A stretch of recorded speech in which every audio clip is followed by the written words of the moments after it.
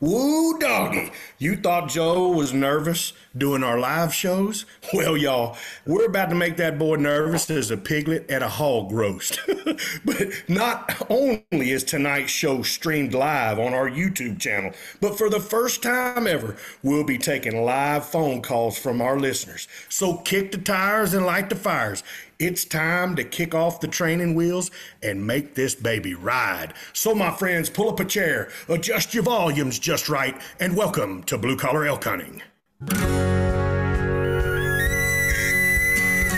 Welcome to Blue Collar Elk Hunting, brought to you by ElkBros.com, with your host Gilbert Ornelas and elk hunting coach Joe Giglia. You want to hunt elk? They live to hunt elk. Their goal is to share with you what they have learned grinding it out for over 35 seasons, doing what they love. So come on into camp and set a spell. Welcome to Blue Collar Elk Hunters.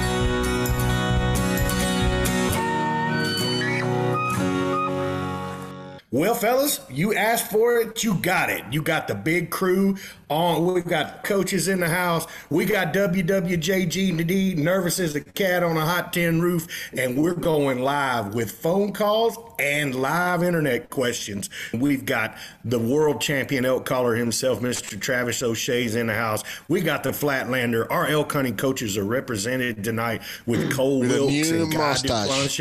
Absolutely, with his cool man bad to the bone, throwback mustache. I mean, he's rocking the stash. We've got, you know, the Venezuelan mafia's in the house, the legend, the cowboy himself sitting back there with WWJGD. Always nice to have the ninja Leroy Chavez in the house. And we got it teed up and we're ready to answer questions, guys. So this is uh, something new for us. So, like Joe said, if we mess up or get something wrong, we'll get it right, I promise. How is everybody? Nervous. Uh-huh. Yeah, man. I'm nervous for Joe. yeah, yeah doing this is the first time for us to do something like this. Um, I'm interested to see what happens if we get a phone call. I'm looking at the phone, man. I'm like,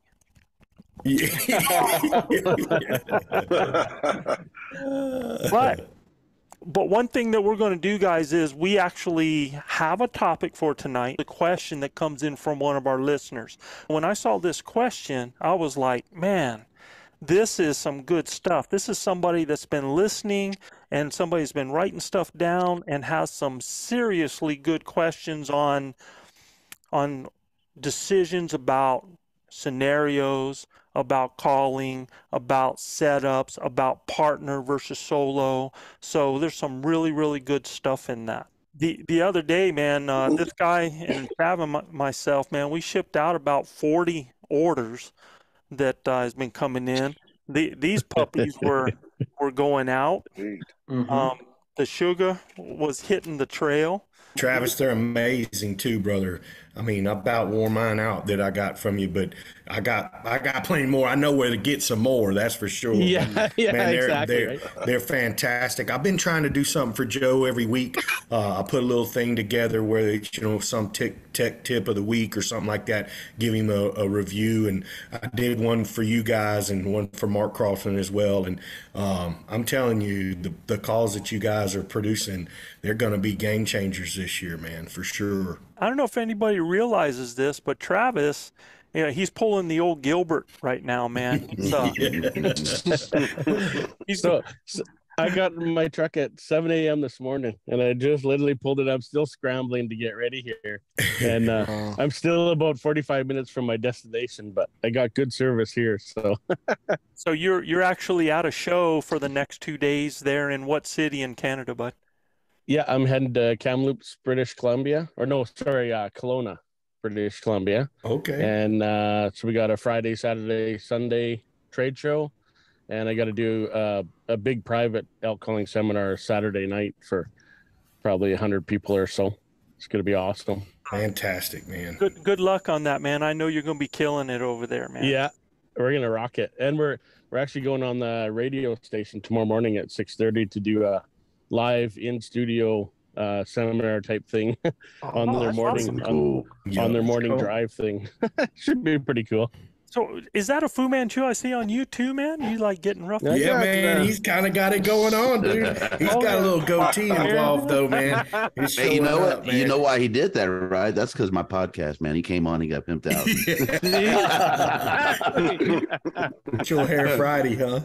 Gotta do the I, little I salt, will say, salt and pepper. Right for folks that you know, for folks, Travis is our neighbor to the north, but you know, if if you guys are interested, you re- really need to get a hold of Travis and, and get some coaching from him. Listen to the Wapiti River stuff, and I mean, phenomenal, right? The instruction that that Travis gives, um, it, it's so easy for a guy to take up and learn from. So yeah, big shout out to my brother over there in the at least on my screen in the bottom corner. Thanks, guy. Yeah. Yeah, he's down. Yeah, he's too cool in school, man. Yeah. we got a message from old Troy Robinson when when when we uh, showed the calls here. He said I was going to order the new calls, but figured I just wait since I'll get them when I win that elk hunt. Come on, brother. I like Get your him- confidence. Better not, better not wait. You better have your calling Yeah. down. Yeah, better better odds to get getting in that deal, man. Yeah. Yeah, Need to practice. So right now we still we you know last time we talked on the show, I think we had I think I said we had about 47 single entrants. Now that's individual. Some of those individuals have got multiple entries because they've spent money in the store and stuff like that. Um, I think uh, our probably our top individual with multiple entries probably has 10 entries. That which is pretty impressive. They've gone to the store and got a lot of stuff Wow. in there. And uh, uh, I'm going to actually answer, and I'm going to answer this right now. Do it. Do Uh, it. Do it. Do it. Yeah, we actually got our first caller on here, man. Yeah. Hey, Keith, you there? bud? Keith. Yeah, I'm here. All right. Do me a favor. I'm gonna I'm gonna yell this out just real quick on on this, and we're gonna pull you in and have you talk with us, man. So, uh, Okay, awesome. so what I was saying is, last time I believe we had 47 individuals entered. Well, right now we are still since that time, and you want to talk about your odds, y'all. we are under 70 individuals entered in Oh, this man. right now. Oh, So yeah, I mean, just just imagine what the odds are on that compared to anything else. And Cole, tell me something, Cole. You applied to be able to hunt in New Mexico in the draw, right? Yeah. Yep. What did that run you, bro? So it would be like Yeah. eight hundred bucks. Yeah. Yeah. It's It'd just be the New eight Mexico hundred dollars piece. up front to have a chance at a six percent of everybody else putting in, right? Yeah, and there could be thousands putting Yeah. in. Yeah, Yeah, and so Oh, I explained it to a guy the other day. I was like, look, it's just the plain math of it is just you're winning. You know, if you look at the odds, like if you spend that same dollar amount in the store, like I'm not t- trying to tell everybody to go spend 800 bucks in Joe's store, but if you were to do that, your hmm. opportunity would probably be, Oh, it increases. Vast. Yeah, you, you're going to increase a thousandfold. Yeah. yeah, yeah, yeah. So I'm pissed about it. but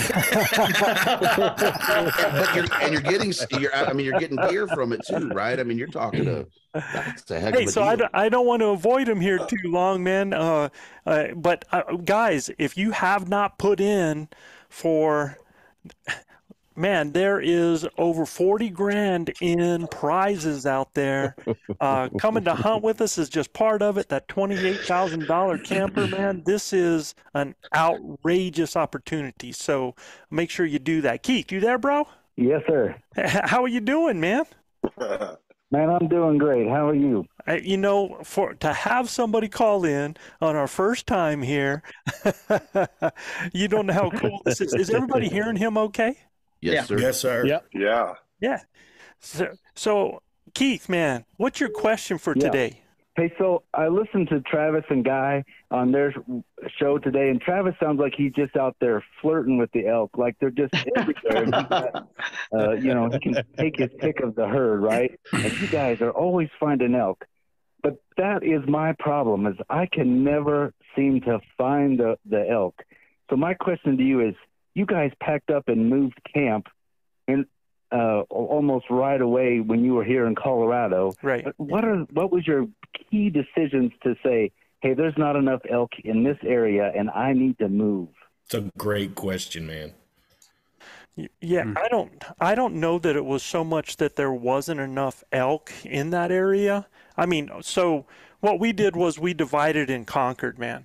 And you know, all of us had different places that we were going. All the guys were scouting in the area that we were camped in and for some reason, knowing that I had that kind of party behind me there in that area, I was like there's someplace else I wanted to check because of something that I had seen.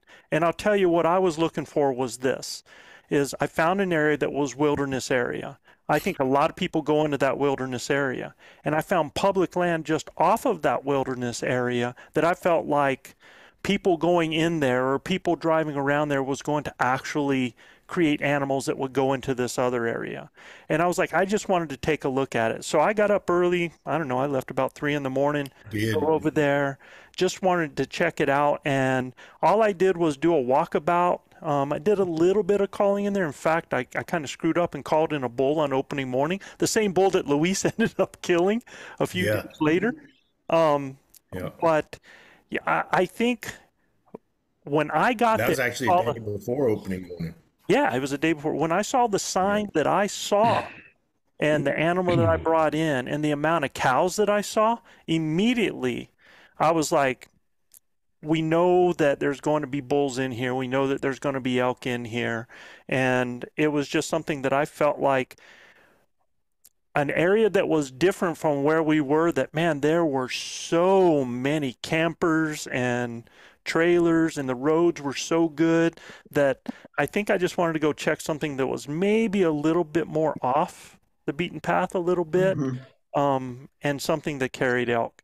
So when I went in there and called in the first day and saw what I did, I went back with my report and I was like, y'all, I think we need to pull up and leave. I see uh, elk, you know, uh, scat and that sort of things, and I see well-used trails, but I'm just not finding them. So I guess I was trying to like gauge of, uh, you know, obviously if I'm not seeing fresh scat, man, I got to pull chocks and go, or Agreed. um, when Joe came back with all his information, RC and I and everybody else had had been on a scouting uh, expedition, and we did find some elk, but we didn't find what we wanted to see, and there was tons of uh, participation, uh, people, right, where we first sat up. Yeah.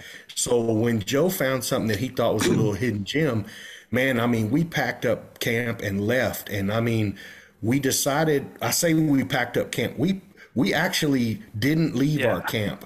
We left the next morning and drove over and hunted that area, and it was so promising. Uh, RC, myself, and the, the Pennsylvania cat killer Brendan Houlihan, we went into several different areas that Joe sent us to, and we weren't very far away from Joe and uh, his his group, right?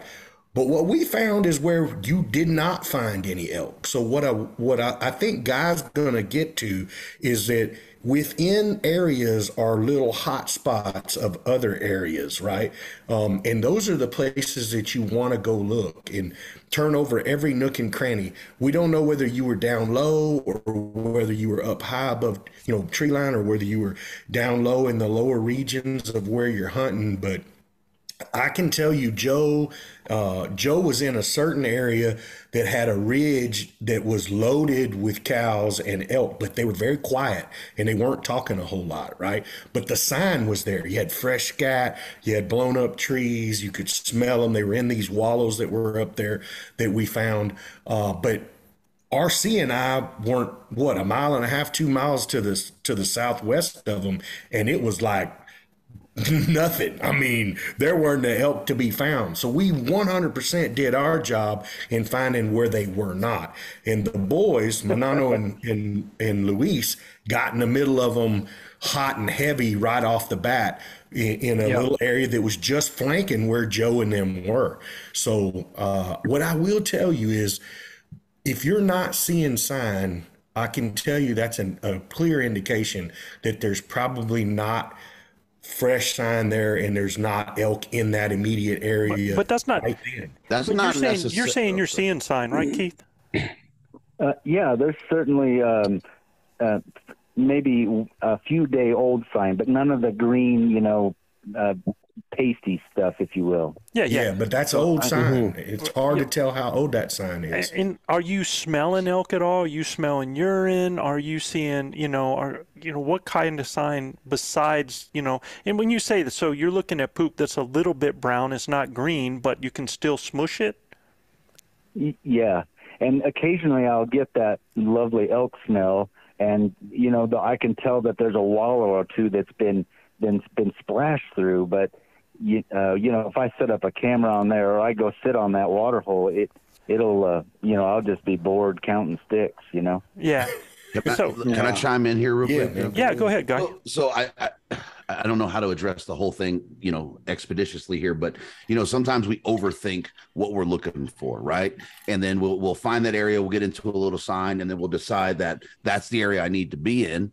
And generally, you know, we're looking for for bigger country for some reason. And then Keith, you know, I, I kind of know where you hunt, and you know where I was at last year, and man, it was busy. It was crowded. The muzzleloader season hit, and and the elk were invisible. They were inaudible. They weren't Yeah. making a lot of noise, and it was just a matter of me slowing down, um, getting real, real quiet, and then picking their noise out of you know out of the air essentially. So I don't I don't want you to get held up on just looking for sign. The one area we were in when we had the Exodus, there wasn't a drop of anything. I couldn't tell that there was an elk there for a year, and within Wow.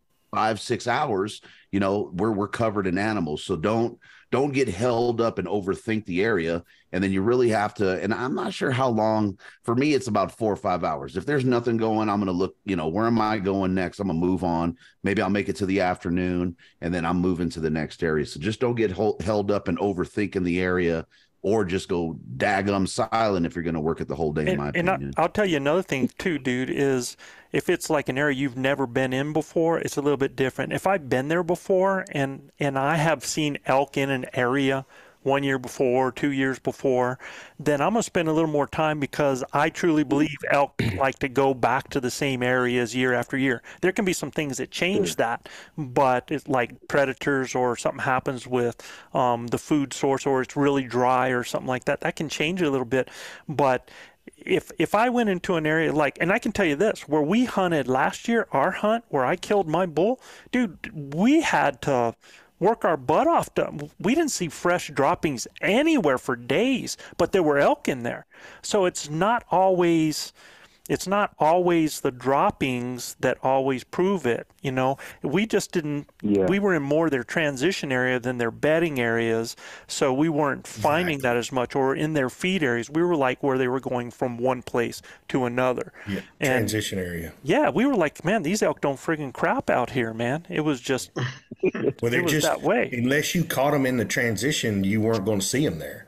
And that's that's the big thing is you you stated that you found a waller or a water hole where you thought they'd been. You know, if Chad didn't if Chav didn't set his water holes during the midday, he'd have told you nothing came in there, right? But as he sat those midday sits, he saw more bulls than we did because he was there midday right? So, I mean, that's another thing is you know tr- hunting out of traditional times when you know instead of being on in the morning or the evening at the wall, I hunt that midday when it starts warming up and see if the animals are frequenting that as well. Because I know Chav could have killed, I don't know, five or six bulls sitting there by himself. and then Yeah. how plentiful is the water Yeah. right? I mean, we're picking Yeah. out wallows sitting on the bench, but how plentiful is the water? If we got a good year and there's a ton of water on that mountain, man, that's a rough one. and, and I, I'm not big on setting water in the first place. I mean, I really think that uh, once hunters get in the woods, they're either going to be there, like if you're going to be there like Chav did, they're going to be midday a lot of times when a lot of guys aren't expecting to see it, or they're going to go nocturnal like they do down in the Gila, man. They're going to come in after dark. Um, I've just never had a lot of success sit, sitting water. I like to find the areas where they're going back and forth. I'll like find where the trails are and the tracks are that are going to the water and reverse engineer. But I think I'll tell you this, Keith, man. I think you almost have to start to get a feel for stuff being in there. You have to almost, and it's hard for you because you don't have that gut sense of experience yet that's going to happen for you. But when I get in and I start seeing fresh track, you know, when I start seeing torn up areas, not even necessarily dropping where I haven't smelling, but I'm seeing track on trails, you know, that's fresh. Then man, I'm going to get on those. I'm going to go start following those things. I'm going to be just like a, a, dog on a bone. And, and that's really what happened in Colorado. When I got in there, I got in those areas where they're going to walk. I got on those ridge top areas. I got in those areas a third down where they're going, you know, side hilling through. I found areas from feed and water where those trails are coming from. And I just started running those trails to see what track I came across. And then, you know, once I got on that track, man, I started seeing critters because I was Yeah. getting into the places that they were going to. Yeah. So, Yeah, And and I I- could, I think a lot of guys get hung up on uh, hunting an area that is a nighttime area for the elk, right?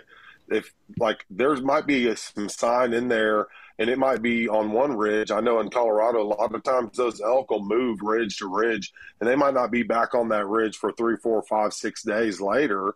And you, know, just identify the nighttime area. Is this an area that an elk is going to spend their time at feeding all night?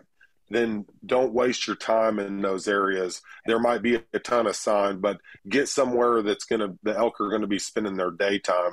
Um, I think a lot of guys Excellent. confuse that sign on the night side of the mountain, if that makes any sense. or yeah, Yeah. or even down low in areas where they're Yeah. bedding at Mhm. night. Yeah, Yeah. absolutely. Yeah, and I mean, if you listen to Paul Medel or you listen to Corey Jacobsen, they love getting in the bedroom areas, man. That's us. And I mean, and that's what we des- that's what we're looking for is where those elk are going to bed down. And if I can find that area, it's it's doomed for them critters because we're going to set up and ambush them where those transitional areas are, and we've already found out now that they're using that area to bed down in, right? So those are the areas where you can go in there and kill not just one bull, but you can kill multiple elk in those areas, and we did that in Colorado. So, so Keith, let me let me jump back and be more simplistic, man. You were like, what made you decide to pull up Yeah. camp and move? And it's because I had elk, man. I had elk spotted. I had elk on me. I had elk track, scent, sign. So to me, that was all the check marks, which on the other areas over there, I didn't have that nailed down like that. So eh, I felt like we were just going to get better production and, and by moving to that location. To, to add into that, Joe, what Guy was saying, he gets in there and he gets really quiet. And I do the same thing. So I take Joe's tactic, get on that trail, follow the tracks, the direction they're going, see where they're going to end up, and you find cool stuff along the way. But a lot of our elk, if you're 150 yards out, they won't make a peep. So you got to kind of go in there and you got to move along really slow. And that's what Guy's saying like, get in there, move a little bit, and then sit and listen. And if you're not hearing nothing, move a little bit more. And you could throw some cow cow sounds out there, you know, rake a tree while you're sitting there so you're not bored as, you know, everything can be. But if you're not hearing nothing, maybe move 75, 100 yards. Don't go crazy. Don't go too far. Because what's going to happen is you're going to, all of a sudden, you're going to burst their little bubble where all of a sudden you're within 75, 80 yards. And now he's going to, or he'll rake a tree or he'll make some kind of noise. And okay, now the game's on, right? Yeah. Yeah. But that's Yeah. that's not me day one. Day one, I'm not like that, Keith, man, because you know even like that pre-day before that, you know, I'm I'm actually moving a lot more. Especially it's a pre-day, you know, I, I'm moving a lot more because I'm wanting to see stuff or smell stuff or or take things in that are going to tell me that there's elk in the area. You know, if if if I see that, then I become Travis, like what Travis was doing right there. You know, I have find it. before I actually before I speed up and slow down, I have to have something that that gives me that sense that I need to slow down and hang in an area. You know, Manano's always trying to stop me. He's always like, you know, Joe, stop and listen, man. You know, Eh, but I actually, you know, He I'm very hear aggressive. anyway. He can't hear nothing anyway, so y'all don't have to worry Yeah. about it. But when you have look, look, when you have a nose like this, man, yeah, yeah, with the eyes that I Yeah. have, Point is reversed That's right. to That nose. yeah. That's uh-huh. right. So, so what's good about that is, is I'm not really you know, we talk about hunting silent elk. I'm always hunting silent elk. That Yeah. I have to in some senses, right? Heck yeah. You know, so I on I'm usually moving, moving, and there has to be a reason. I've either caught a scent, I've either seen something, or I've heard something, or I got fresh, fresh track on, uh, I'm a, you know, crap or or urine on the ground. That's going to give me reason then to slow down and just listen and then do a scenario. So, you know, um, I need to cover area early on because I'm basically um, hunt scouting, right? So, you know, um, hmm do I pass by some? Maybe. Well, I might doing that, but I will have a better figure on the entire kind of area that I'm at, and it'll it'll give me more confidence in the area. That's just me. You know, Trav hunts the same places that he hunts every year. He knows where those um, bedding areas are. He knows where those layers are. He knows where those bulls like to stay. But when you go into a new area, you've got to get a little more comfortable. And even like you know, seeing what you have on your onX and how that boots on the ground actually fits to what you're seeing and, and starting to put those pieces to the puzzle. What I tell you, man, is just get out there, start filling in pieces of the puzzle. Start getting around, take a look at that puzzle and start filling in those pieces and then making some decisions. If you go around like you do that five hours of what guys talking about and you ain't seen crap literally, you know, it's time to pull stakes and get out of there, man. Right? you know, how, what are you doing to, to approach the situation? What are you throwing out? Are you locating, you cow calling, you calf calling, right? Look at the approach you're taking as well as you evaluate those things. So do, you, do you I, hunt by yourself? Uh, I I do have a partner with me at, at sometimes, but I'm mostly a solo hunter. Yeah. yeah. Gotcha. And Keith, man, I, I thank you, dude, man. You you've been a, a great listener. Um, you've you know you've been following us for a while. You're just a great guy, man. And uh, I just want you to know how much we appreciate you Absolutely. Thank you. and how much we're in your corner for you to Yeah, succeed, man. We'll be pulling for you, brother. Yep. Yeah. Thank you. Thank you. I'll come Yeah, pack out for Thank you, you very bro. much, guys. Thank you, man. Bet, man. See you, see you in a couple of weeks. Thanks weeks, for man. calling in. Yeah. Great question. With Tom. Take care. We have number one.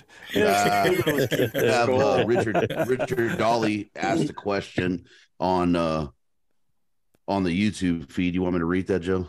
Yeah, go ahead. All right. Hey, fellas, glad to see everyone. Love all the content and all the knowledge being passed down. As far as e scouting, what are key features to check while out hunting? I'm not able to narrow it down.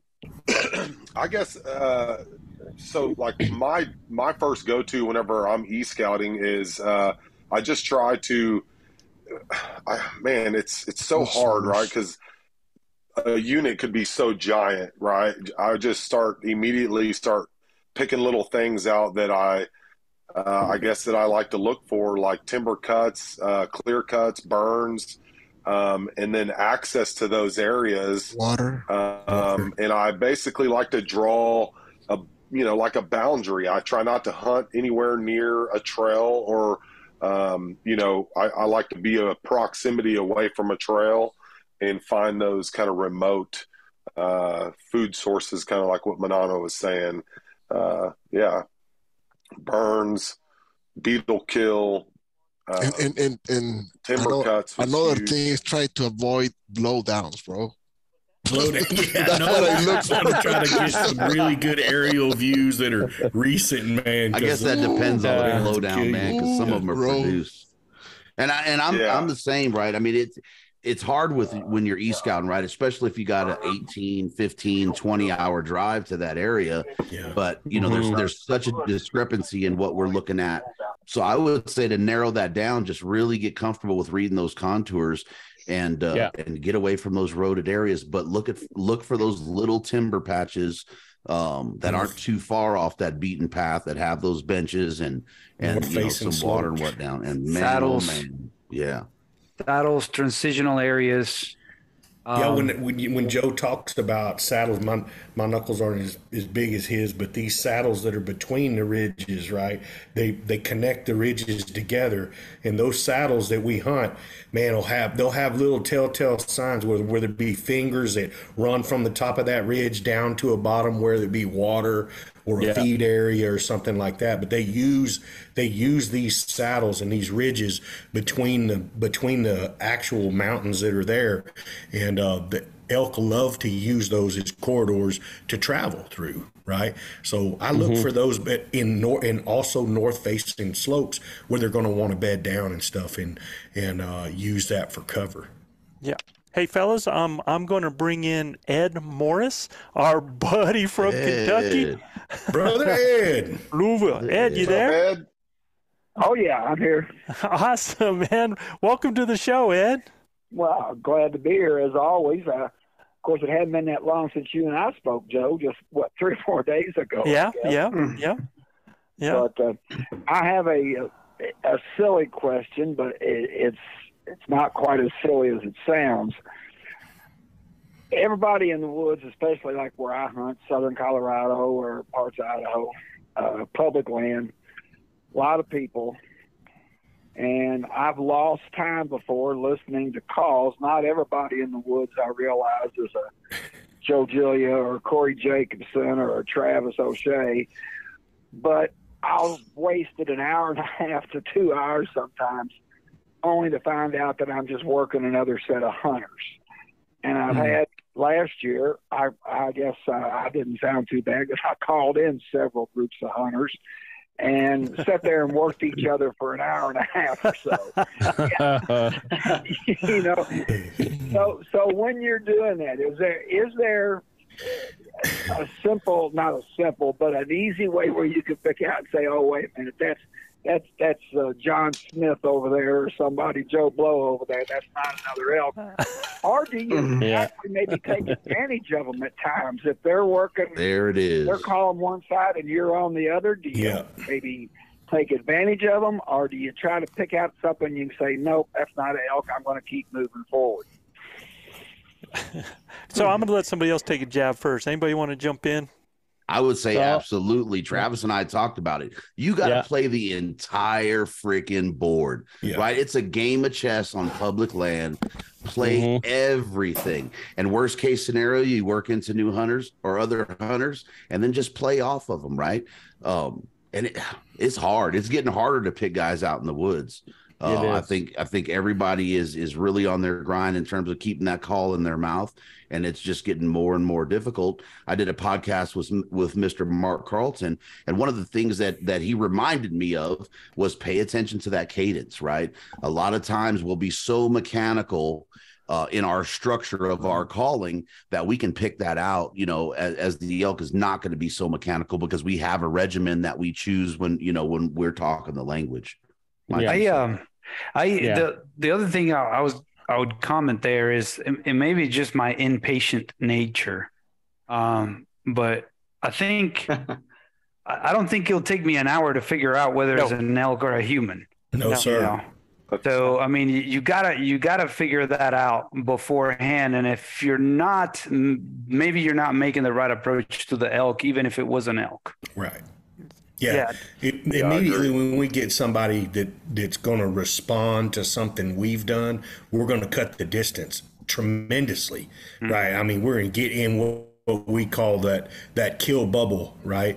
And within that hundred yard range, and uh, and then we'll send out a few things that we know for sure are going to be well. I mean, nine times out of ten, uh, if you get somebody that's you know bugling at you insistently, insistently, insistently, you you pretty well know, especially when you get in that in that bubble and it quits.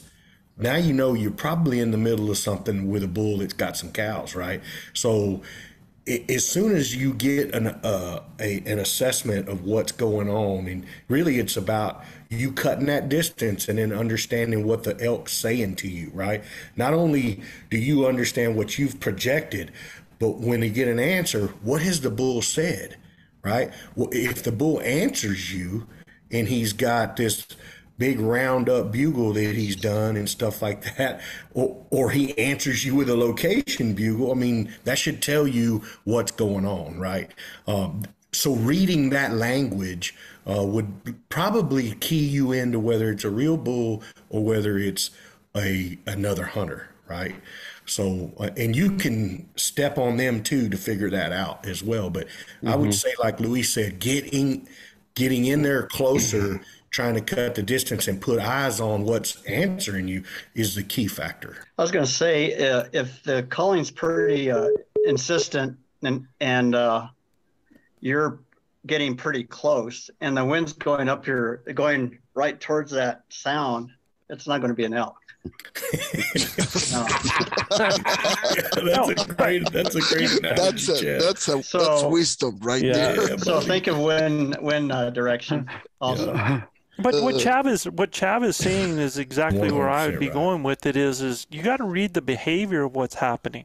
You know, um, yeah, and and I and I lost Ed on the phone call, but um, I don't know like were each of them moving? Was one following the other? Were they moving Yeah. away? But you know, if you've got somebody that's calling back and forth to you from the same location and it's and it's like seven o'clock in the morning and they're staying in the same location and and this is Yeah. depending on what sounds they're making that's mm-hmm. just not elk behavior that wouldn't be what happening that bull would have been way mm-hmm. bored way ahead of time made a move away made a move towards you and, and i'm with luis me if i got a critter that's doing something like that man i'm gonna see him Yeah. you know We're gonna go to him. Yeah. yeah, I'm gonna be I'm gonna be doing something moving towards that animal to where I'm gonna see it. If that if that other hunter just kept sounding off, I guarantee I would have seen that booger just by sneaking in on him too if he kept sounding off.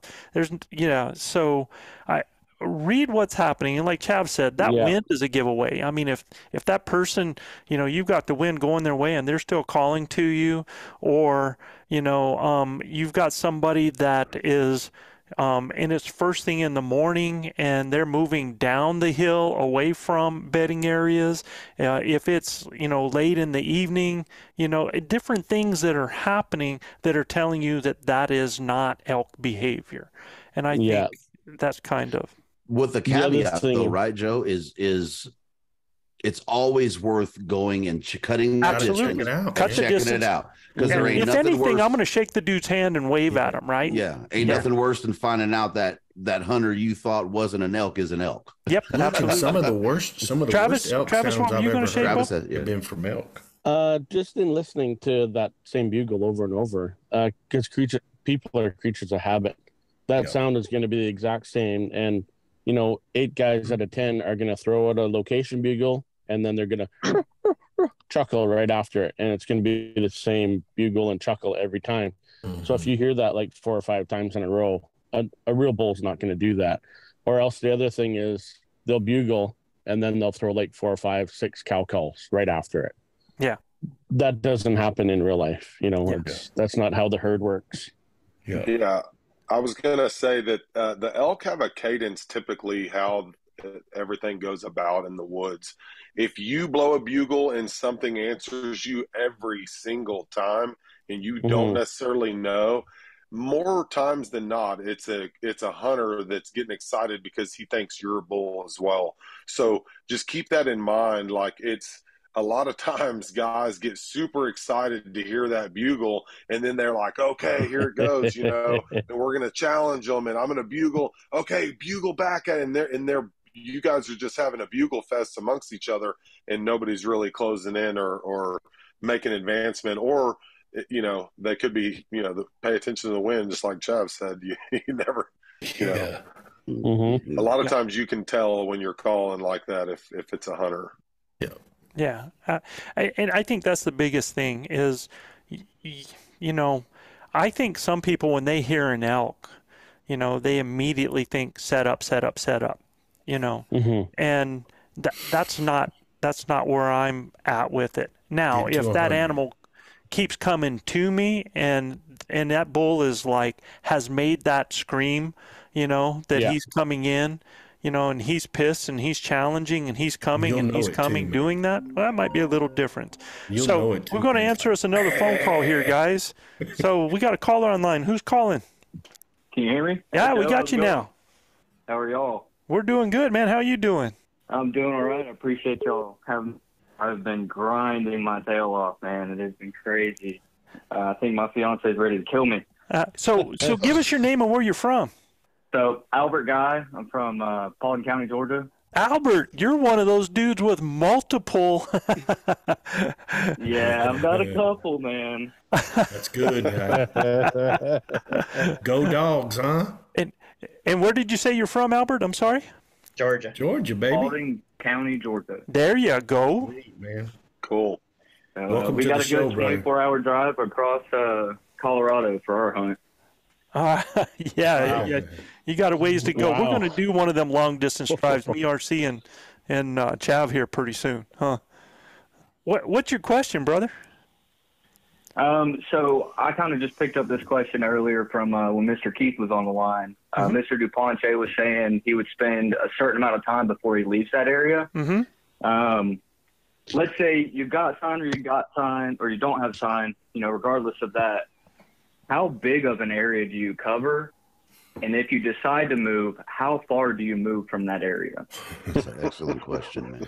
It's a great question. It's a really good question. Yes. So, so I, I'll just tell you for me, man, um, when when I'm hitting an area and I'm doing it again, it depends on the wind, depends on a lot of variables of the area, how visible it is, um, what kind of attractions. Because I'm actually going to areas, I'm looking for certain attractions.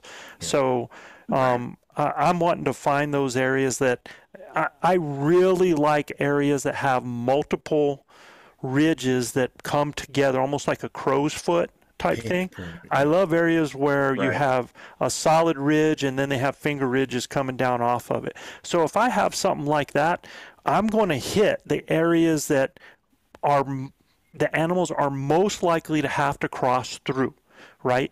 I've already hit roads like when me and Cole um when we started you know, scouting the area that we did in Colorado, all we were doing, man, we were in that ATV and we were going down the dirt roads looking for every friggin' mud hole or any place that we could see that we could find Mhm. track or where animals were crossing to give us any kind of visualization. so we were covering roads first to be able to find it. And then we go on the interior of it.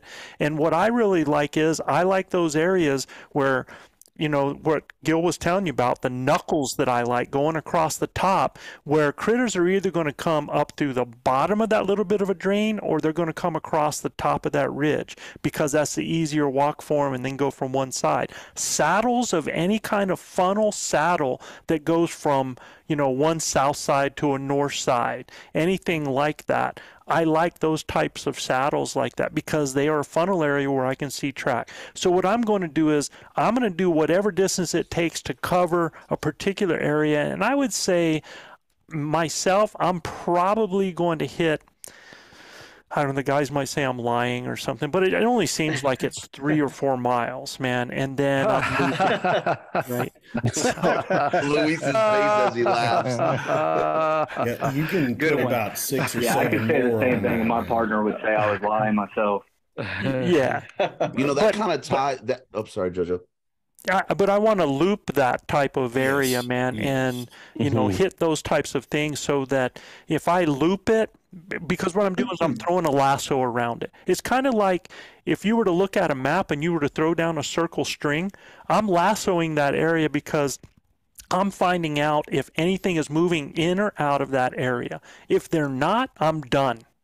Okay. Joe, Joe, one of the things that we do though is we have A, B, C, D, Yes, E, Absolutely. Let's say it. G Yes. area. Right? But I'm going to We- loop my A area, and We are, it's yeah, for sure. Yeah. Mhm. But we have was gonna those say- areas that we're going to, if we mm-hmm. need to, we mm-hmm. pick up and move to B, right? Or mm-hmm. we pick up. We've we've exhausted A. You might set two groups in there, you know, and they're going to hunt and meet where they meet. But at the end of the day, we we really get boots on the ground and cover a lot of area quickly. Our first two days, man, it's.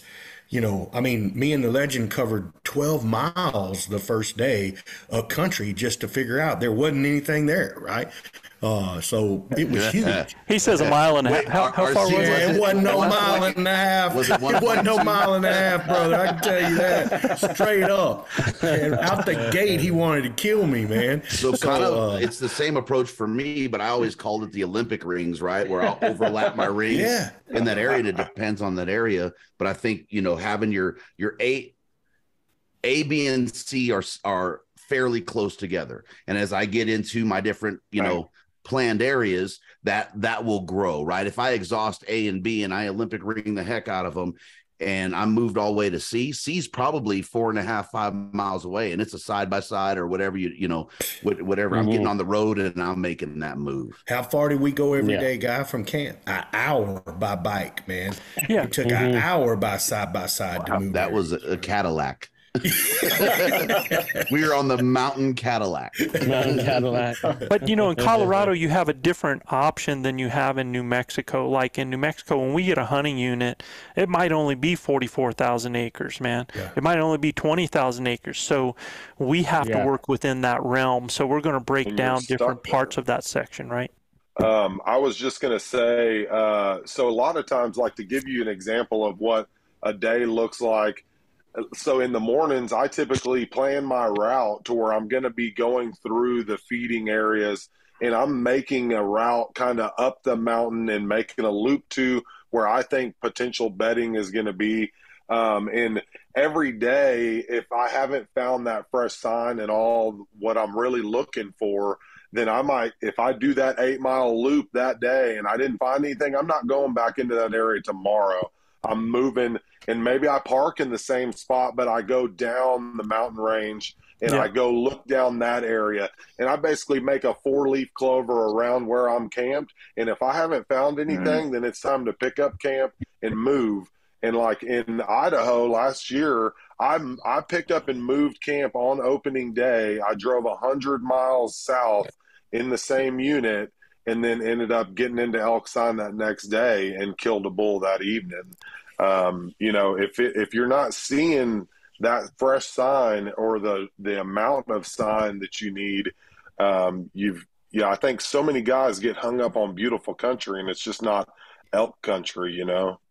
Luis Manano, you guys two got you're two guys that when we send into an area, you don't. T- I mean, there's nothing that's left unturned. These guys are unbelievable uh, mountain climbers. I don't like to climb mountains. I like to elk hunt, but at the end of the day, these guys are mountain climbers, man. And what helps you guys get in there and find elk or not find elk immediately? What do you guys look for? They go where I tell them to go, first of all. yeah. I didn't. I, no doubt. Joe sets the pecking order where we're going to go. There is no doubt about that. A, B, C, D, E. Or, but these guys have an innate ability to get in there and find elk early, right? They- so it's uh it's uncanny how well they do when they're together. So is there a dynamic that you guys use, Luis Well, we, Manuel? We, We argue most of the way. time. Yeah, that's And use that's the our bathroom and yeah, that's our strategy. So Yeah, and then I tell Manana to go and, and take a dump, and then I get ready because the elk are going to be coming in That's while the he's truth. taking a dump. that's Um, the truth. No, I think I think uh, you know we we do we do have a conversation the night prior. We Right. kind of analyze, okay, how are we going to divide? How are we going to conquer? Uh, which areas are going are we going to be looking at? And then, you know, based on the area that you know is assigned to us, then Manano and I will sit down. I was like, okay, well, how's the wind? You know, now um, the onX has has that that wind uh, yeah. portion in the app, and it's great. I mean, It's, it's, an amazing tool and it's pretty accurate. on is very accurate. So that helps us a lot too to understand where we're going to tackle from, right? And uh, which direction predominantly the wind is blowing. Um, and then uh, start looking looking for sign, looking for sign, and then um, we we will walk very quietly. We're not going to be walking very fast. We're going to be walking quietly, um, and we'll stop every once in a while and then throw a few calls, listen for a Mhm. little bit, and continue walking. Um, and then- Arguing a little bit, and then the yeah, yeah. So, so I mean, we just we take our time, but we're consistent as far as the pace in which Yeah. we move and what which we stop, and then you know we give a lot of importance to the listening as well, and then if if look if we're just walking areas, eh, eh, we're tr- the whole time we're walking, we're tracking um, all our trajectory uh, on onX. that way we understand and we're you know we, we're able to mark where we see things or where we find stuff. So we feel like we're actually building a report. So when we come back to camp we can share that report with the team a lot better and then just Mhm. give people better intel so we can put all our heads together and then you know come come come back with plan b for the next day. Mapping I was trying to pull 520 Yeah. up, 21 up on my screen there, but you can't really see it. But that, and and Joe kind of alluded to it, right? New Mexico oh. having smaller units. 521 is a massive unit, It right? is. So if you don't It have is your A, B, C, huge. and D kind of picked out going into a unit that size, can it- it's going to be a little bit of struggle, right? It, it is going to swallow you. So that would be one of my things. And brother, man, if you want to DM me, I, I opened that thing up and looked at 521 and I'm like, oh, first spot I went to. So I'll shoot you where I think they're at. Did you shoot that over to me I too? mean, we we have Dude. we spent so much time last year just scouting the entire state and trying to just figure out where we should go. Uh, last year was our first year, uh, and by I mean I'm just going to say this by chance. We had came down to a lower plateau and we were cow partying down there, and uh, it's a little after midday, uh, and we ended up getting busted by two cows, man, and I've been bugged out since.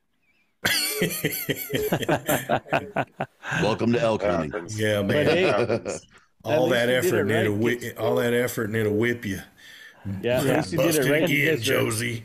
That's you guys were unit. doing the scenario and you called them in, so you're doing something right. So that's Yeah, step right. One right there. them. So Yes, sir. yeah, hundred percent. And, and just after that, we got caught in a hailstorm. So That should tell you man. to slow down, man. You guys are probably moving too quick. You know, slow down and let that stuff marinate. You know, especially on, the- on the heels of a storm, man. Be be methodical and let those calls marinate. You know, and uh, they they'll show themselves, man. Was it early season too?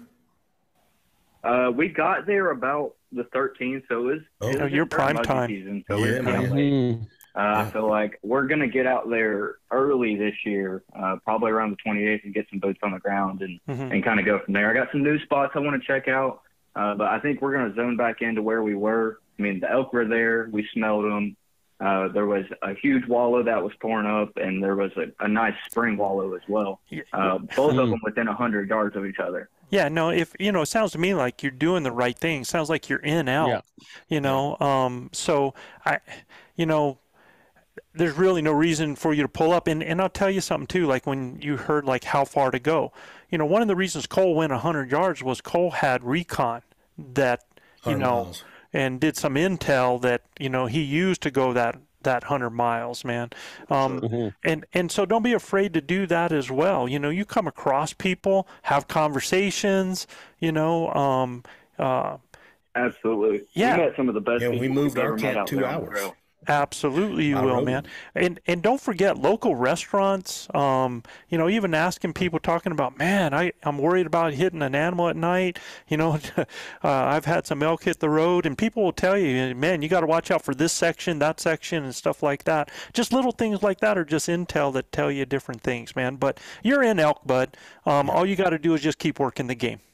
Yeah. Best of Well, I appreciate you guys answering my questions. You bet. Yeah, man. you bet you, bud. Thanks you for have a, calling in. Yeah, keep grinding, man. We'll, we'll, and good luck on that uh, giveaway. Thank you, sir. All right, take care, man. Yeah, and and I- I hear that from so many people. They're like, you know, when and why do I pull up? You know. Well, I tell you what. One thing I, I've heard people say: I stayed seven days in an area and I never saw an elk. Oh, we got another caller coming in, y'all. Sweet. Okay, this is caller number three. How you doing? Oh, hey, uh, how y'all doing? Uh, I just wanted to say I've been a long time supporter of the Elk Bros. Been uh, watching your show. and I uh, had an opportunity to get on your website this week to register for the the the Basic Elk Hunting Academy. Yes, sir. And I wanted to get some additional entries into it, but I was wanting to know when on your on the store page Yes, sir. when you guys were going to have the Cole Wilks uh, Daisy Dukes available, and the guys and then guys Clark uh, leg warmers when you're in the quickies and it's a little. It's got to be Eric Aragon, man. I knew something was up on It's that. got to be Eric Aragon, dog. Oh, I, I don't know who it was. He just hung Dude, up on a us, man. ridge And- runner, And, man. you, and you know what? It's a shame because today's caller that was going to win, that number was caller number three. Number three. Sorry, bud. I want to Yeah. just So, Hey, so well, he won. He won. So he, he had wow, to go we don't we don't have a name and a place, man. don't He have a hung name up and on a- He us. will So. come, We don't go know. back. Wait. Hold Yeah. on, Cole. Stand up. We got to. We got to do the trouser check, brother. you best to have some daggone pants on. Oh, we have a we have a caller coming in. This will be, yo. This is uh, you're on with uh, with the Elk Bros, man. Who we got? Hey, this is Jonathan. Hey, Jonathan. Jonathan. Oh, wait a second, guys. We have Hunt winner. Wars royalty on here, man. Oh, wow. Awesome. Nice. Jonathan Scott. Hey, how's it going? It's going good, man. How you doing, bud? Hey, doing real good. It, it, Cole, you, you, you do you know this guy? Oh, you dang right. the reason that I killed my bull in Idaho. So, Mr. Scott here is proof positive that you can come into a, an elk season and really not. How much? How much calling had you guys done prior to coming on to Hunt Wars, Jonathan? I had done none. Zero. None. Uh, yeah, absolutely zero. and how many elk had you ever hunted with the bow, Jonathan? I had never hunted anything with a bow. So I got my first Wow. bow from Hunting Wars. Wow. You got your first elk on Hunt Wars. Got his first elk on Hunt Yeah. Wars. And First tell, elk and my yeah, and first bow. so gi- give your partner a shout out to everybody who's listening to this. Yeah, so uh, I took Brent Howie with me, and he had done very little elk hunting uh, with his uh, dad and grandfather, and uh, but definitely hadn't been calling and, and those kinds of things. So we kind of came into it very, uh, very much rookies, and you know, and just came in with an open mind and ready to learn everything we possibly could, and and it was awesome. That so they went through they went through the two months of training with uh, with the Elk Bros, and then they had, you know, they had Cole and and that redneck Aragon in camp with them. You know? uh, and and I tell you, man, I couldn't have been any prouder that uh, we had two fellows that came in that all they did was they worked and learned and listened. Um, took the playbook, applied it on their first ever elk hunt, And and, came out the winners of the Hunt Wars. So, So, cool. Um, yeah, Was this last season or 21? So that Yeah, was uh, 21. yeah, 21. Yeah, 21. Yeah. I don't know, Jonathan. I- I've got to say, I mean, if I would have ever done something like that, that would have ruined me. I would have just stopped elk hunting at that point and just move on to, you know, something else, man. Yeah, You, I'll tell you, it ruined me in the right way because now Yeah. all I hunt is elk, and now I listen to is elk, and Yeah. you know, living, living. Very cool. And and I think Brent took his skill set. Um, and and I tell you, man, uh, again, Brent had never had a diaphragm in his mouth, and it was work in progress. And these guys just went and ran the playbook, and then they, after Hunt Wars, they went and just started, you know, taking their skill set and still continue to hunt elk and do good things, right? That's so awesome. Yeah, yeah. So uh, we got one elk down last year, um, outside of Hunt War. So two two years in a row. Yeah. So How about I'll that? Make it three. Wow. We're, we're gonna have Very to well. give we're gonna have to give him the Manano Award, man. You know, he's like consistent, man. Yeah, No because I I think uh, uh, I think Manano, except for last year, because Manano was you were hundred percent for three years, weren't you? Yeah, in Yeah. a row. Yeah. Yeah, yeah. He's on So- the Like good downside callers now. me. Hey, we got John Waldron on uh, listening up here too. So, do you have a question for us, man? Yeah, I do. So the biggest question that's been going through my mind is so I'm hunting in Idaho. It's over the counter. I can pick anywhere throughout the state to go hunt. Um, I'm fortunate enough that way, and um, and so I have a place that's good that we're really learning the units and know you know the elk patterns and and, really figuring out kind of where to go, where to be, and and that kind of thing. And looking at statistics and and whatnot, there there are other units that are you know having higher bull harvests in uh, you know during archery season. And so my my question is is with the we- with the major change of weather, um, you know, more snowfall. The other place I'm looking at is a much higher elevation than where we've currently been hunting. And so I'm my question is is with the weather and having so much more snowfall, do you feel that that will change the elk patterns as far as getting back up to that high country, um, or you know, kind of like what's in my mind is you know the elk live in the weather. You know, it's it's harsh weather for us. You know, during the season, you know they're going to still do what they do because they live in it. Yeah, no, that that snow, especially in the amount that you guys had. What do you think, RC? Oh yeah, they're gonna head down. Yeah, yeah, it- it- it- they're absolutely going to going to change that. And there's another thing that's going to happen. You guys got so much moisture that they're not going to be condensed either. They're going to be really spread out. You know, uh, there's going to be water everywhere. Creeks are going to be running everywhere. There's going to be, you know, a lot of Mhm. wet stuff. So. Um, you're going to want to find where that snow is melting, that grass starts coming up. You find that green grass line belt, you know, um, where those cows are feeding, and really pay attention. Don't really worry now about, you know, so much the the bulls where they're going to be in the summertime. Are you, are you hunting earlier? Are you hunting later season? Um, I'm, I'm splitting it up, and I'm kind of going three different times for five days or so at a time. So throughout the season, first week, third week, fourth week. Yeah. Yeah, so it, it's really going to be where where that grass is showing up, and it's going to be a lot of green in that country. There's going to be a lot of feed, so these animals are Mhm. not going to have to congregate as much, right? And you know, if if you if you are hunting areas that you hunted before, that you've had cows and you've had bulls rutting in those areas, and I would I would not necessarily say that they're going to be, you know, those big high areas. It depends on how long it takes for that snow to melt. You know what I mean? It might be that mid-level, man. Um, yeah.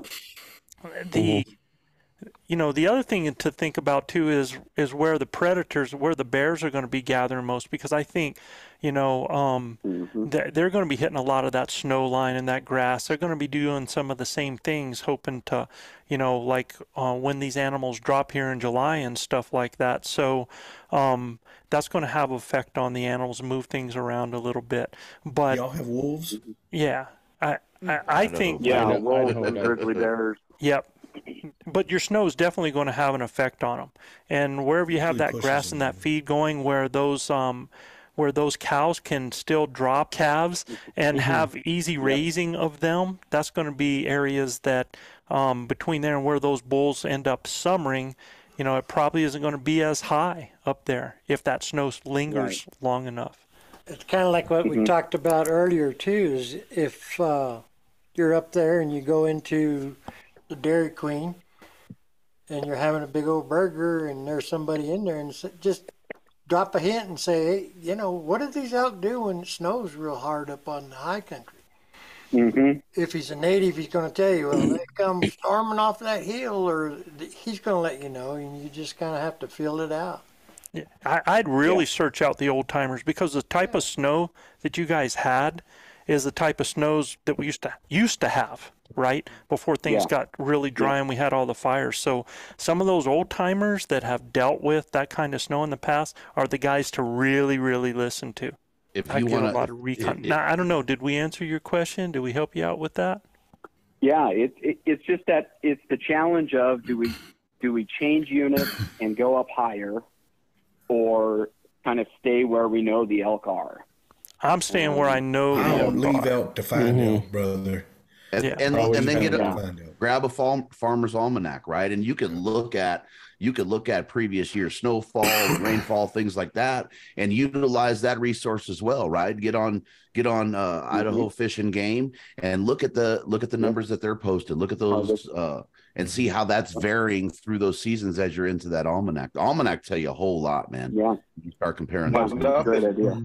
I like that. Nothing beats you knowing that country though, No like the doubt. back of your That'd hand. straight. You could take a crappy, crappy unit, and just you knowing it like the back of your hand turns Mhm. it into a really good unit because you know everywhere not to go. hmm That's Yeah, that's that's the the big benefit. thing. Yeah. It ain't about where to go; it's where not to go.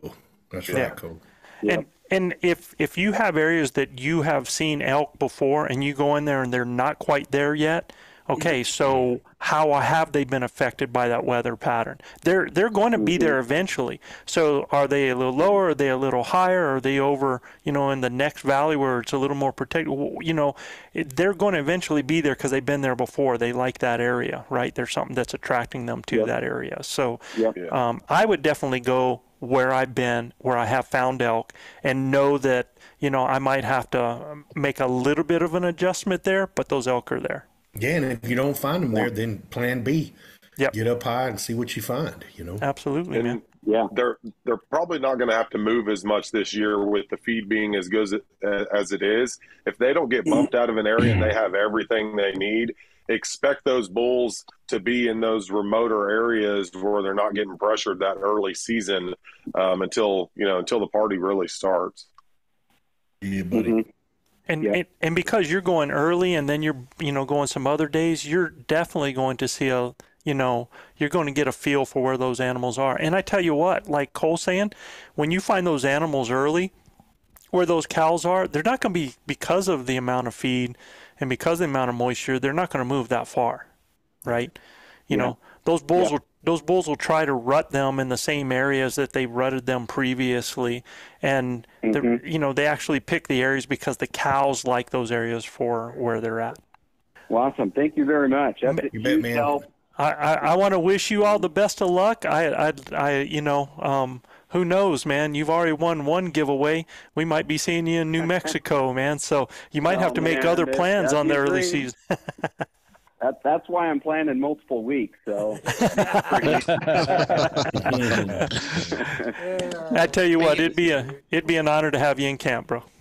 Definitely. You might as well just take the whole guys. month, brother. You only have one week that's hanging on to work anyway. I know it. I I work remote, so it makes it it makes it hard, you know, because it's like okay, I can go out early morning, and then if I jump on calls, and then I can hunt in the evening, you know. Yeah, it makes it it makes it really tough. Yeah. Best of luck, man. Stay in touch. I know you will. Yes, sir. yeah, sounds good. Take care there, Jonathan.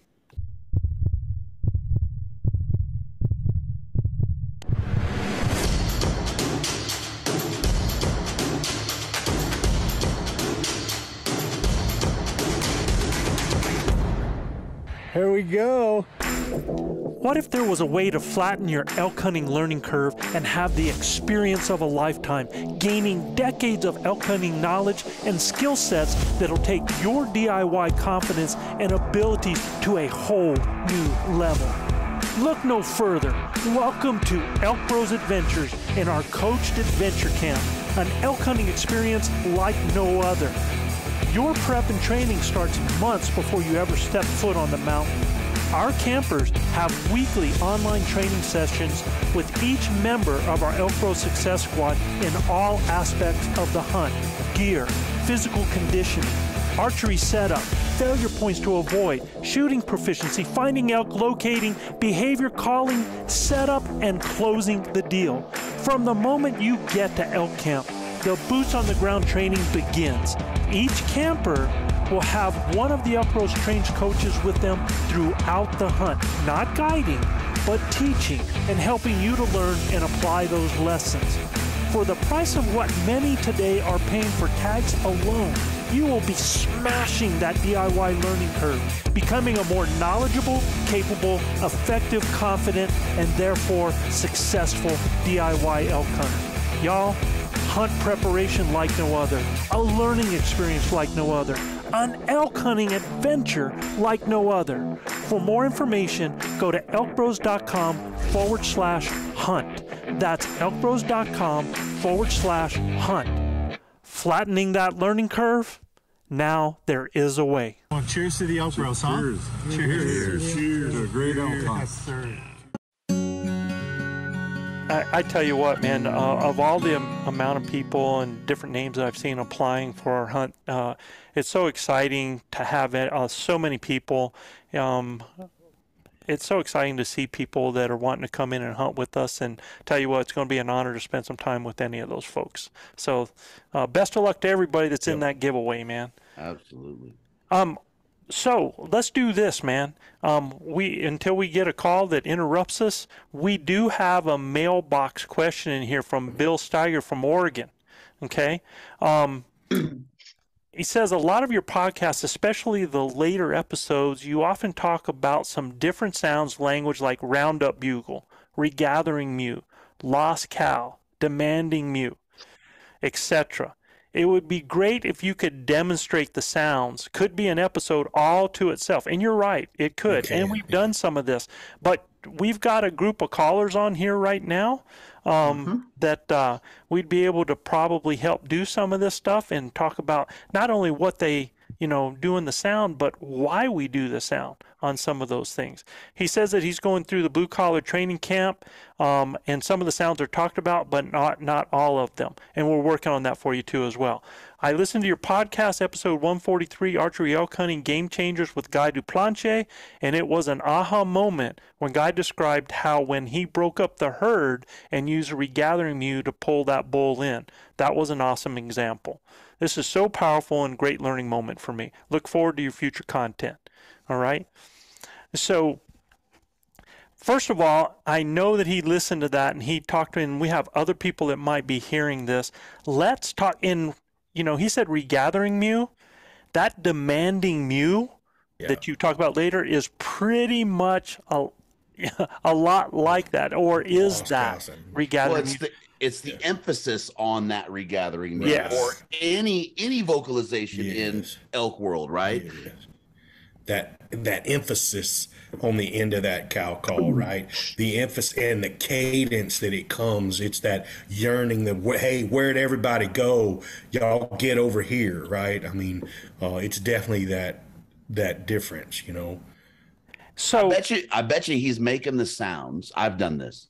I'm making the sounds and don't even realize I'm making the sounds because I'm thinking about what the sound is as I'm trying to put emphasis on it, and then there it is, right? We we get caught up in the names of the sound, and it's like, man, you're you're doing it. Yeah. Yeah. So any, just think about emotions. It's the same way.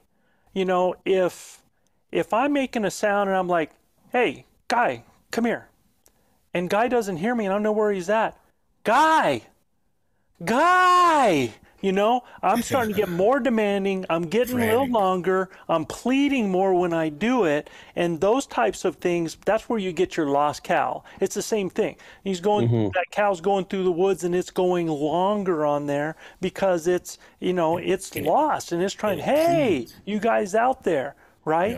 Um, and same thing with that regathering mew. I think there's a lot of those long, insistent mews that you could do. And like Guy said, um, it doesn't have to necessarily be the exact correct thing that another animal does, but they understand that insistence. They understand Mhm. that pleading, and they hear that. I had a uh, a guy, one of the kids that I've been coaching, that's been guiding, and he he calls me up from the mountain, and he's like, "Coach," he said. I've done everything elk bros on these on these bulls and they're not coming in. I said, You've done everything elk bros, man. Threw the book at him. So I said, I want you to do me a favor. The next time you have your hunter and you got that bull out there, and because he's saying they're just standing out there talking, they're not coming into us. I said, I want you to, once you have your hunter in place, I want you to go away, and I just want you, yeah, yeah, yeah, as you're going away. Tell me what happens. And he sends Mm-hmm. me a text, man, later on. He goes, Gold! It was gold! I didn't call in one, I called in four bulls. You know, so yeah. it's really the Cadillac for us, and um, I can tell you, you know, the regathering is is so close to the lost cow call, right? Anyway, because you know, and you can stop the whole herd, you know, Mhm. uh, with that regathering mute. But it's it's insistent, man. You know, it's an insistent, and like Joe said, it's like me saying, "Hey, guy, how's it going?" And then I'm lost. And I can't find guy, and I'm like, "Guy, where are you at?" You know, I mean, it's the same thing. Wait a minute, hold on. You're the one who got lost. I should be hollering Gil.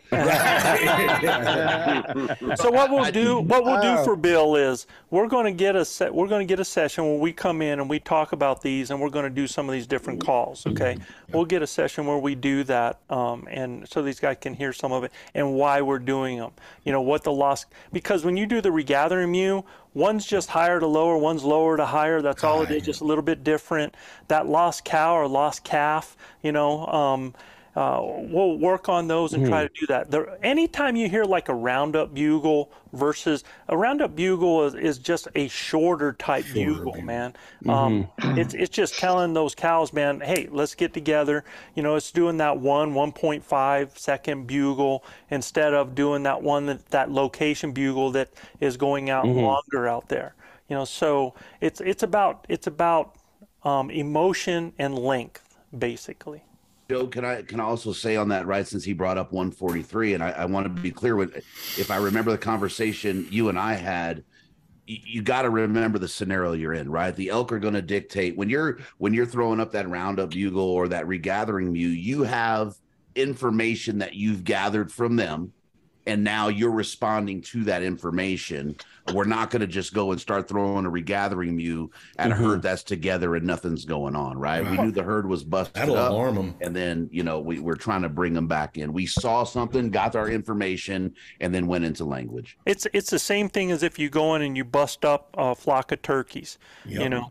And that's what Guy recognized. He had a situation that the animals blew up. They went out into different situations, and what happens a lot of times is elk will run up. They'll go on the side of a ridge. They'll turn broadside. They'll wait. The ears are up, and they're listening to see. Okay, I just ran for my life. Where's everybody else at? You know.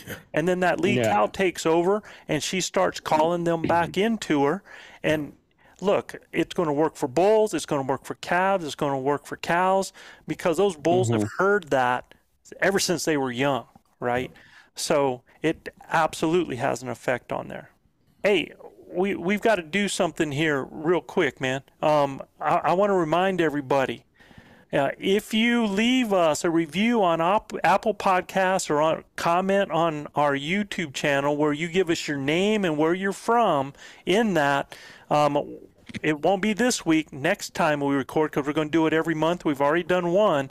We're going to throw all those names into a hat each month and draw a winner for both the Wapiti River and Signature Elk Bros diaphragm call. So our, our last one, uh, we've already had one winner. Casey Gamble won that last week. We got some stuff going out to him. So you guys, we appreciate um, all of those reviews and comments you leave. Keep it up, man. Okay. It's another way we can give back. That's all. Yes, sir. We had a bunch of people that gave shout outs. Let's give shout outs to our this week's top listening cities. Luis, will you start us off, dude? This week's top listening city got its name from the nearby Sassafras. Sassafras. Sassafras. Sassafras. Sassafras. Or spicewood timber that grew well in the area. It is located along the banks of Lake Travis and offers an abundance of outdoor recreational activities. Home to country music legend and a shout out to our man Willie Nelson, Spicewood, Texas. Spicewood, Texas. Texas. Yeah. The home of Willie Nelson. About Not too, miles from me. Not too far was from Brother highway. Wilks. That's right, man. Yep. For Oh, sure. really, huh? Across the river. Yeah, Yeah, right man. across the, right across Lake Travis from He me. might be 35, 40 miles from from uh, As a crow Cole. flies, for sure. Yeah. Uh, man, that's Big awesome, man. town. What what a cool name, man. And uh, I don't know if you guys and you don't know what sassafras is, Luis. Yeah, Nope. it's, it's a tree, It's and they use the Sass- bark well, to make use- sassafras. It's, tea. yeah, it's a root the- actually. Yeah. Yeah, And, um, you can Leaves, actually too. put it in, make uh, tea with it and different things. You can actually use a root as a toothbrush, and it has a lot of cool. I me guess, it's like Spicewood. Yes, you could say that. Spice Thank you. That or kind of gave it away. Yeah, or. Hey, Manano, I think there's a beach at this next place. Oh, that's a hardest one. Well, I'll, I'll I'll do my best. Next up, this city was named after Prospero City in Kansas, and it's known for its unique corn. The corn is renowned for its extra sugary flavor, delicate texture, and succulent succulent taste, and grown only here. Agriculturalists attri- attribute to it its high elevation, mountain spring irrigation, and its position in the Joe, please. On Compagre. on, On compadre. on On compa- compadre. on Compadre. The only word that I know is compadre in Spanish. Not, And you can't even pronounce that right. yeah, on Compagre Valley. Hola, hola de, hola da, Colorado. Olathe, Colorado. And yeah, and I think we've had um we've had Ola on before, but I think it was in Kansas or No, we- another state. We we don't There's have one in this one Kansas. before. Yeah. I Yeah. wouldn't No, remember. we may we may be able to teach Manano how to call in an elk before we can teach him how to read. Guys are horrible. Dude, so bad, man. Uh, Oh. that's right. crowd. He's right. Well, Chav's not here right now, so I'll take his. This city was originally named Fairbanks in the 1820s. Uh, a boundary dispute between the United States and oh, there he is. he, covered, he didn't even know he covered his. his What were you doing, Cabez? I covered the camera. He's like, the, ninja. the ninja. That- Not there. Ninja comes back. he, he pulled it off and he was so surprised. like, oh, Chav, that was awesome. Yeah, I was like, I'm not there. I'm not there. oh, that was great. Okay, uh, this next city was originally named Fairbanks in the 1820s. A boundary dispute between the United States and Canada led to the Aroostook War, which eventually led to a name change. Its new name comes from the French term for peninsula. It is now a hub for winter and outdoor sports, and this is in Presque Isle, Maine. Presque Isle, Maine. Oh, okay. Presque Presque Isle, Isle, Maine. Maine. Maine and look at this. So we're at uh, Texas, Colorado, Maine. That's that's our, and Chav, how can you act like um, you haven't seen any of that stuff when you type all this up, man? I didn't think I was going to get this one. So, That's it. so Big, Big O. Big O's in the house. And look, this next city, this next city, RC Knox endorsed it, right? It's the largest retirement community in the world with a population of well over 130,000 people, man. It's home to the largest and most diverse single site golf facility in the world with over 50 championship and executive golf courses. It's also Whoa. known as Boomer Paradise. And I'm not talking about Norman, Oklahoma either. I'm talking about the villages in Florida. Florida, the villages. Villages. Yes, sir, in oh. Florida. So Tell us about it, RC. from Maine to Florida. Look at here, Joe. We got it from the very top to the very bottom. What, what, what about it did you endorse, RC? The retired community, I was babe. going to say, I'm calling BS on that one. where we're at right now, I really don't want to dive into this. Maybe I'll do one of these questions so that we can kind of take ourselves to where we're going to go next time. All right. And I'll read this off and uh, we'll get this started. And, uh, and then we'll continue when we come on the next one because man this is awesome the, the main topic for our show that we were going to do besides the call-ins um, actually comes from an incredible set of questions from one of our listeners don anderson in seattle washington sent in and he said I can't tell you how much I appreciate your show. I have become a loyal listener, and even after hunting elk for several years, I've learned so much. I actually have a multiple part question. I have multiple part questions and totally understand if you only want to answer one or two because he had a list there, man. But they're good. But there's some good stuff on here. Yeah. but I've Yeah. been writing these down as I listen and thought that there'd be other hunters with the same questions. So the, we're going to start with number one, and I'm going to go around because um, I, I'm going to let Travis actually start off with this one uh, and see what he has to say. He says, Travis, he says, um, first of all, how do you decide between moving and calling or setting up and doing a scenario? Uh, so me personally, I like I'm very patient.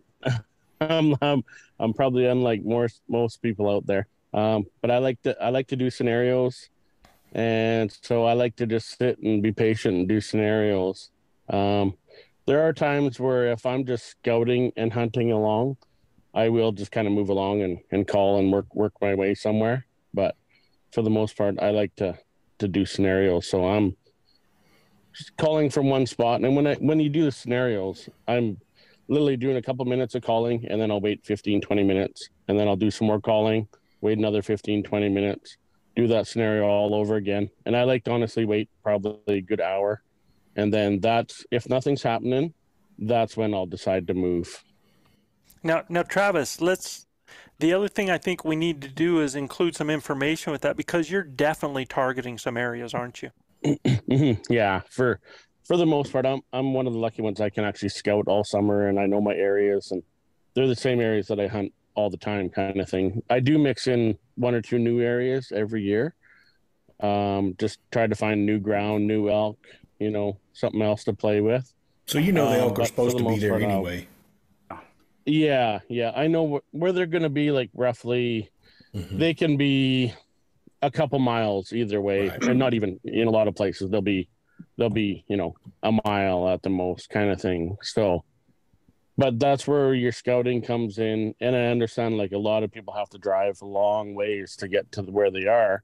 Uh, I'm just saying that's where I'm pretty lucky. I can drive out in an evening, do some scouting, and if nothing's there, I can try a different spot. You know, uh, I'll bump up down the road a couple miles and and be back up into the hills somewhere. Um, but for the most part, I'm I'm scouting before time, and then when I'm going in in the morning, like you say, Joe, I'm I'm targeting because I know these fresh elk tracks went in somewhere, and I'm targeting those those elk for the most part. Um, but yeah, so it's a little bit easier on my, on my end, and But you know, that's it's, you know the- how the mountains so That's the key, though, Travis. Right? You're you're Mhm. doing a setup when you see that super fresh.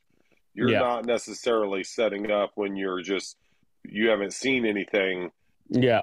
That's when you're moving and calling, right? Yeah, the type of the type Yeah. of information you have Yeah, and Depicts dictates whether we're going to do a yeah. scenario. what, what you're going to be doing Ab- because because if you if if you know it's an area where they're at or you probably put them to bed the night before and you're coming back next Yeah. morning and and so i mean you got a plan in place and and and you'll do a scenario but when when you're finding them when you're looking for them um you're Mhm. you're you're walking and calling and, and Yeah. looking because you don't know you may not know the area right i mean you're Yeah. just coming in new to a public land so i mean the type of information you have on the elk i think dictates uh, what to do in my opinion Yeah.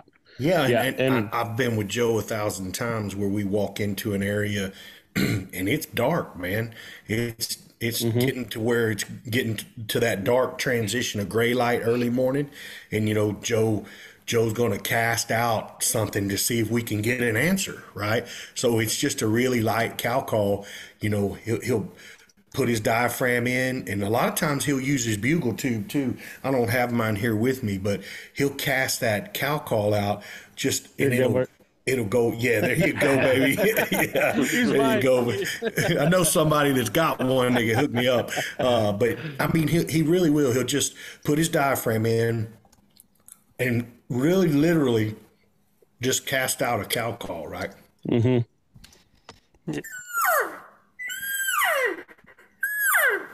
That's it. Yeah. Being uh, one or two calls like that, and we just sit.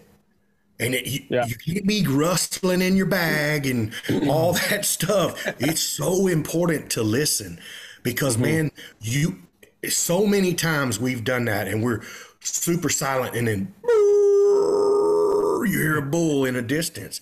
Well, that tells me now I got to cut the distance, right? That bull's four or five hundred yards away.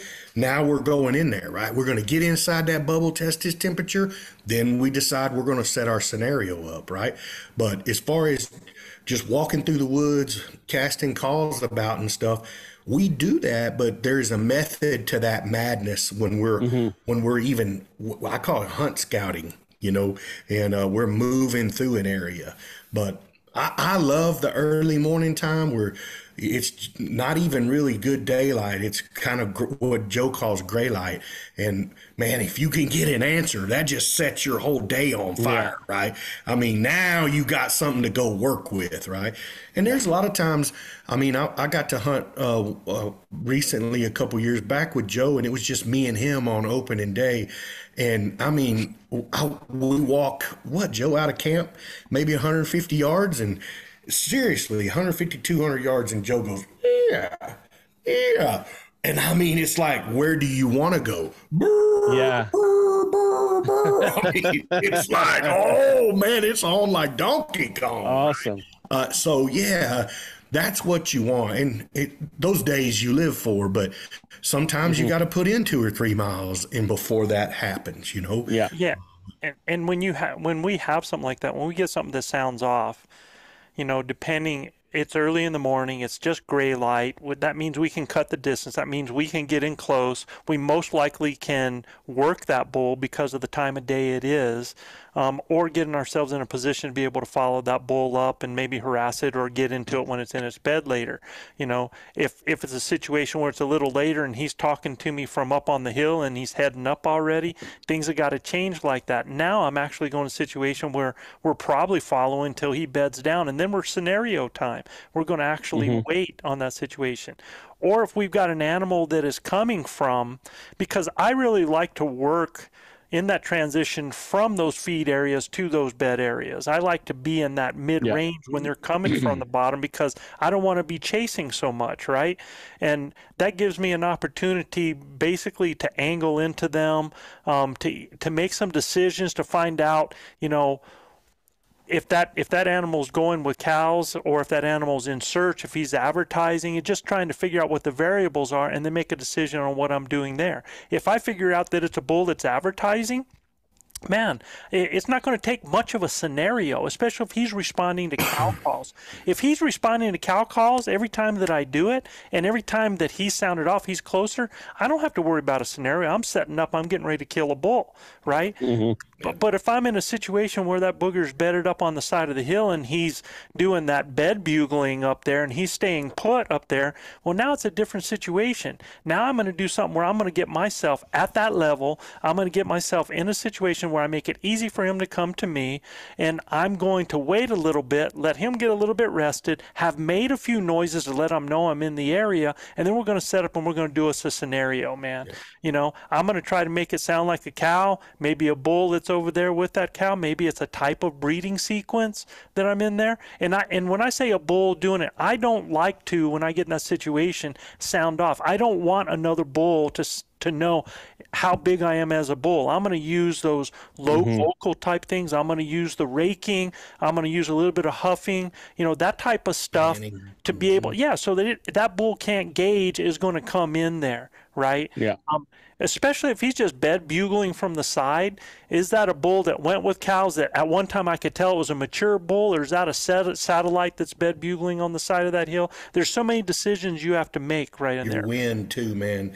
Especially in those as Yeah. it starts warming through the day, those thermals really start mm-hmm. acting up, and your wind can swirl. Even the first thing in the morning, would you know if the wind's swirling and you just can't get it right? Well, it's really hard to make a decision on what we're mm-hmm. going to go do because the wind just won't let you do anything. Right? The more you move, the worse the wind gets, and you're trying to hunt into the wind or side wind, right, paralleling the wind.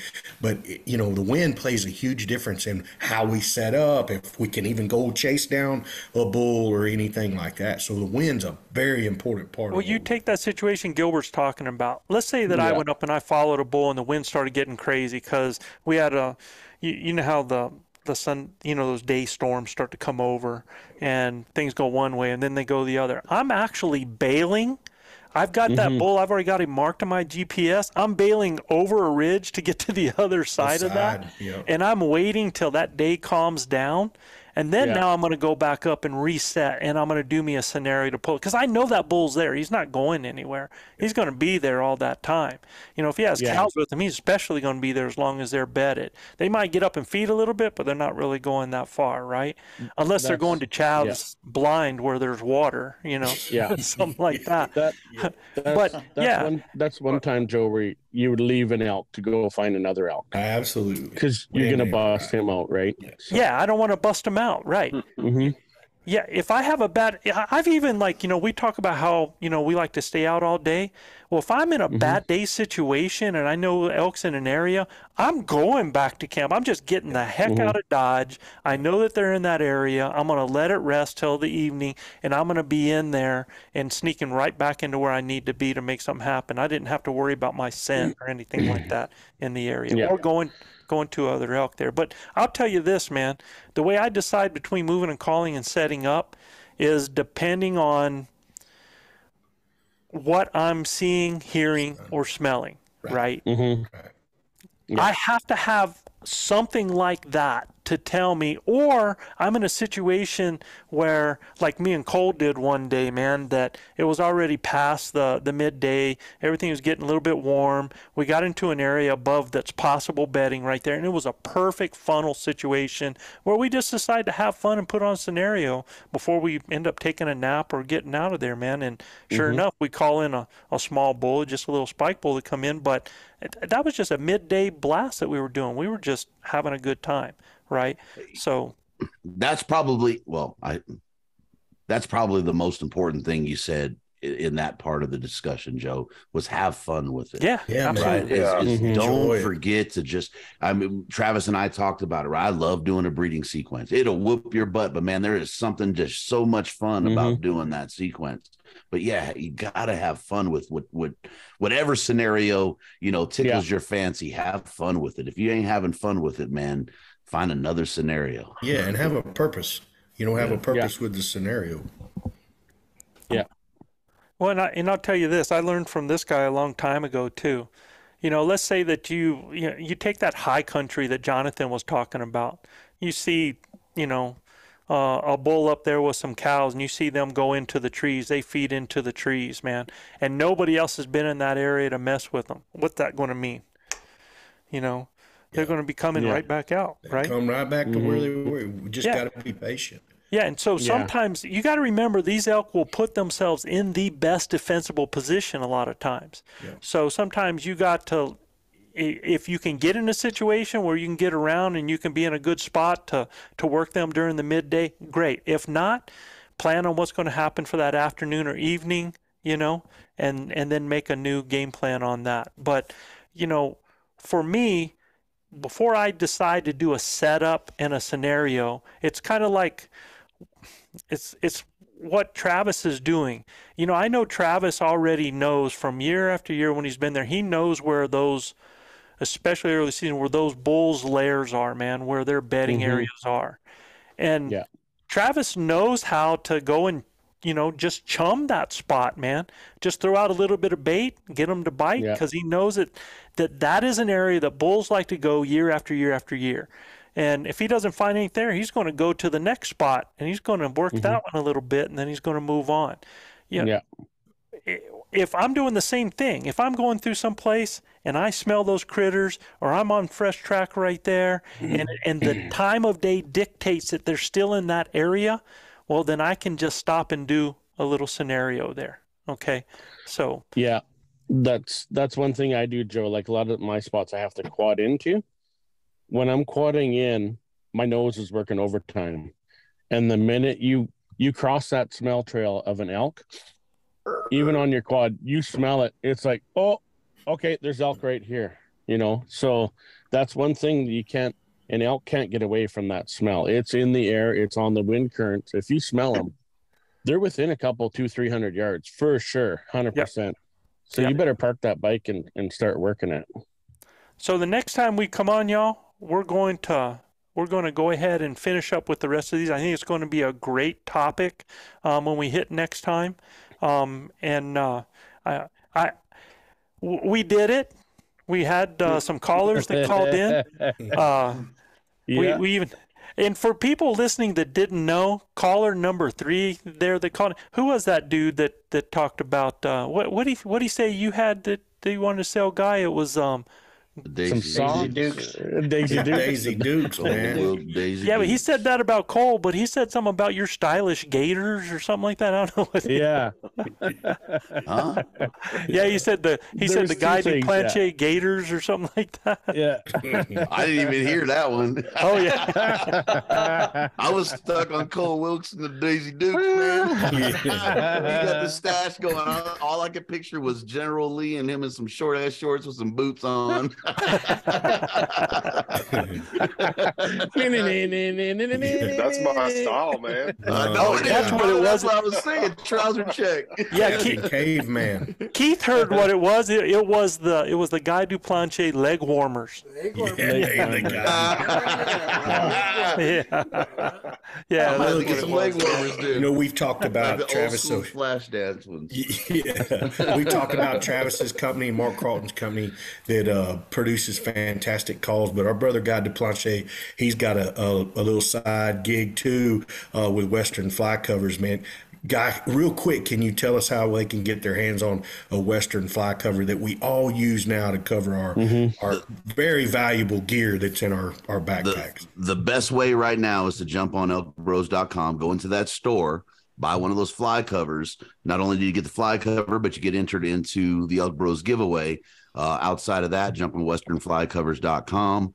Um, if you have any questions, hit me up. But yeah, we got our pack fly covers, our bino fly covers, and working on some other stuff. But uh, yeah, material stuff is killing us there. So And I would be remiss if I don't give the legend a shout out as well. The Cimarron silversmith himself, RC Knox, Yeah. has got his jewelry now in the store. Guys, if y'all want something done with your elk teeth, I mean, he makes some incredible jewelry that we all sport. Uh, we're kind of spoiled by him, uh, but at the end of the day, his his stuff's all handmade right there uh, in in New Mexico. And if you want to reach out and talk to RC or have any of his custom jewelry, you can check them out on our webpage as well.